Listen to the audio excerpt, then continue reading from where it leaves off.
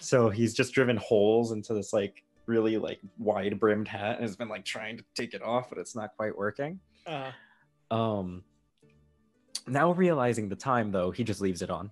Uh-huh. and it's just like, oh, um, I I think I think we're almost at our time.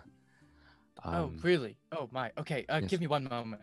Edward runs off stage, and Okay. then he kind of hides behind the bottom of the stage, and then he casts the spell, so he looks just like Kathyr. Okay. And then he he starts walking up the stairs to the stage and goes, "Oi, that was I had to use the restroom, but I found my way back now."